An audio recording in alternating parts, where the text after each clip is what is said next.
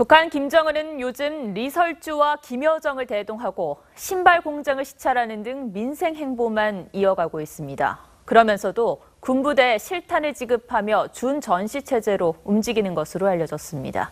이채연 기자입니다. 북한 김정은이 분홍색 운동화를 유심히 보면서 활짝 웃습니다. 한 달 만에 공개 시찰에 따라 나온 리설주도 진열장을 구경합니다. 김정은의 동생 김여정도 동행했는데 김여정은 지난 7일 정치국 후보위원으로 선임된 뒤 만경대 혁명학원과 신발공장 등 김정은이 가는 곳을 잇따라 수행하고 있습니다. 국산화 비중을 87% 이상으로 보장하여 있는데 세계적으로 이름난 운동 신발들과 당당히 견줄 수 있다고 하시면서 김정은은 한 달 넘게 미사일 발사를 중단하고 비군사적인 행보를 계속하고 있습니다. 대신 선전단체가 한미연합 해상훈련에 대해 위협을 쏟아냈습니다. 예상 밖의 시각에 상상 밖의 타격에 직면하게 된다는 것을 각오해야 할 것이다.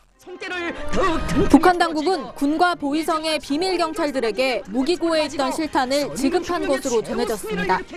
준 전시태세에 가까운 대응을 하고 있는 겁니다.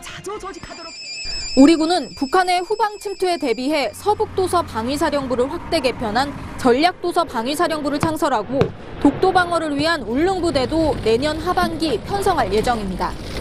TV조선 이채연입니다.